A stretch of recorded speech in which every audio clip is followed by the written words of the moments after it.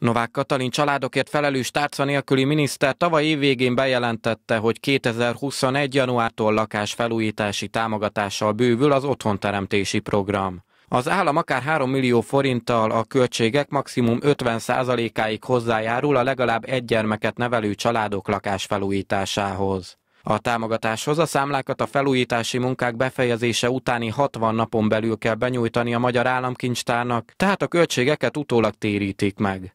Vagyis a munkálatok elkezdéséhez elengedhetetlen az önerő. Fontos tudni, hogy a támogatás összegében az anyagköltség, illetve a vállalkozói díj 50-50 százalékos arányban szerepelhet. A bejelentett kormányzati ösztönző intézkedések hatására a következő egy évben a magyar lakásállomány csak nem 14 százalékán végezhetnek felújítási, korszerűsítési munkákat. Ez azt jelenti, hogy egy éven belül körülbelül 570 ezer lakáson végezhetnek el kisebb-nagyobb munkálatokat. Az, hogy egy felújítás jellege mire terjed ki, és az igényele mondjuk településképi véleménybeszerzést, vagy építési engedélyt, vagy egyebet, ezt témája fogja válogatni.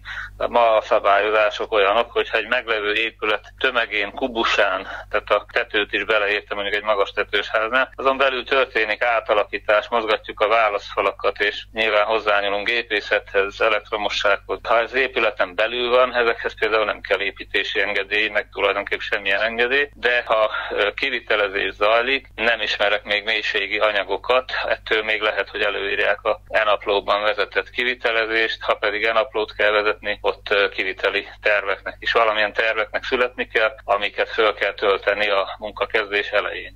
A munkaerőpiacon már 2020-ban is jelentős kapacitás hiánya küzdött az építőipar. Ha a várakozásoknak megfelelően idén robbanásszerűen ugrik majd meg a lakásfelújítások száma, tovább gyűrűzhet ez a probléma nagy cégek világa, ez a kisebb vállalkozók, akár egyéni vállalkozók tudják ezeket a feladatokat, de lehet, hogy egyesek komplex be fognak vállalni egy-egy ilyen csomagot, de ezek azért lássuk be 3 millió forint a maximális, és max 50 százalék, tehát ha úgy ebből számolgatok, ezzel a kedvezménye, ha valaki csak erre építve gondolkodik, mondjuk 6 millió forintig gondolkodik, hogy belenyúl egy épületbe, hogyha az 50 százalékát le tudja hívni, és max 3 millió ez az összeg, mindenképpen ilyen behatárolt léptékűek ezek az átalakítások, viszont nagyon sokan tudnak hozzányúlni, és azért néhány millió forinttal már lehet valamit kezdeni. Kapacitás hiány lesz a piacon szerint. Ez viszont árfelhajtó hatású szokott lenni mindig, vagy rögzítve van, szerződve van, és nem jön a mester, és kéne jön a másik, meg a harmadik mester, mert relatív kis feladatok viszont több szakmát fog érinteni, ha egy lakásba belenyúlnak nagy valószínűséggel. Úgyhogy szervezés igényes, és ilyen szempontból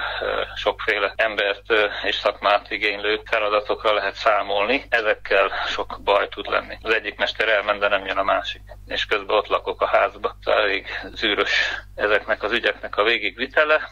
Mint az építész kamara elnöke is kiemelte, gyakorlatilag mindenfajta felújítási munkára igénybe vehető bármilyen lakásról is legyen szó. Azonban legalább egy gyerek neveléséhez kötött az otthonfelújítási támogatás, és szükséges az is, hogy legalább egy év folyamatos TB jogviszonyjal kell rendelkezni az igényléskor. Feltétel továbbá a köztartozás mentesség, és fontos, hogy minden család csak egyszer veheti igénybe a támogatást. Ez 2021. január 1-től 2022. december 31-ig igényelhető. Akár csok és babaváró hitel mellé is. Utóbbi hitelösszeg egyébként az önerő biztosítására is fordítható.